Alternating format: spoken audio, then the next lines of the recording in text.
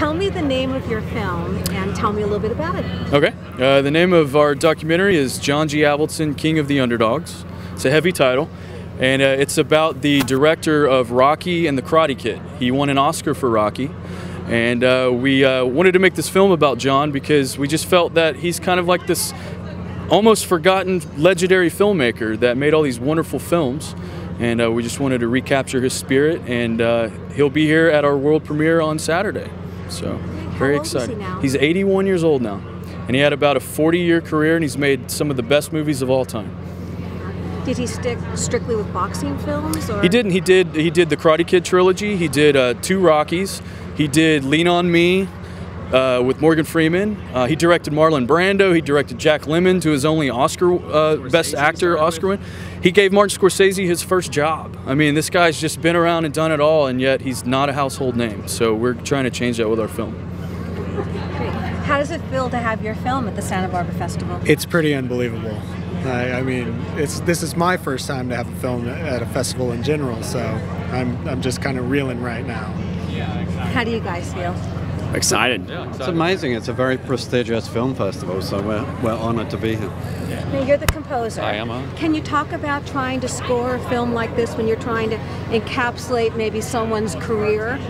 Yeah, well, um, Derek wanted it to be scored as a like a narrative film, right? Like a t- to tell a story. So that that's that's what we did, and it helped. It made my job easier. The the challenge was uh, was uh, coming in and out of some Bill Conti music, which which, which was uh, is in there as well, which is exciting. So it's great to be a part of it. And what did you? What role did you play? I was the executive producer on the film, so once I got a chance to really see how much had gotten on, about what halfway through was when I came on, and I'll tell you what, it, it was a no-brainer. This film is it's inspiring. It uh, it's going to change the people's lives. And John Avildsen, you know, Jack Lemmon, Saving the Tiger. You go as far back as him.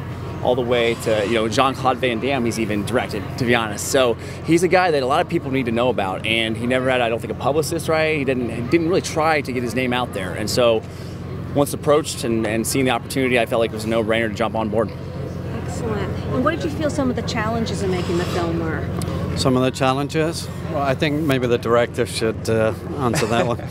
Well, you're one of the producers. You, you, he's well aware of some of the challenges. It's just uh, he's going to throw that my way, uh, uh, which is fine. That's a typical producer answer right there. I'm kidding. Uh, a lot of the challenges were, uh, well, you know, it was a, it was a, it was a fun process, but a lot of the challenges were getting clearances for all of the film clips that John. We, we cover so many of his films. We had to get clearances through all of those films and uh, that was that took months and months and months and months. So it's like we made the film, we interviewed all these great people, and we edited it together. And it's like, well, we have to like, you know, get the rights to, to do this film.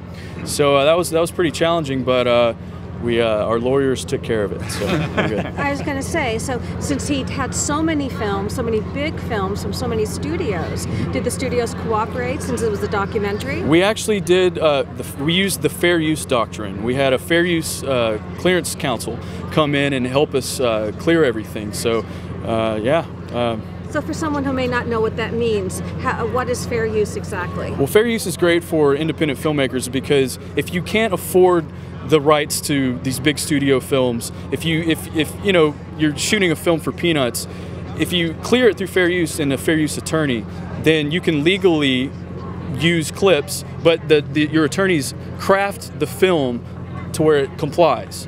And so that's what we ended up doing, and it, and it saved us uh, big time on, on this film. Not that the studios wouldn't comply with us, but we just couldn't afford it. So fair use is great for, for these types of films. Absolutely. And what would you what would you like audiences to take away from this film? You know, everyone has an underdog in them in this world, and I think this story people can relate to uh, in that inner, inner, inner soul of trying to fight for that dream or whatever it may be that you're trying to do in life.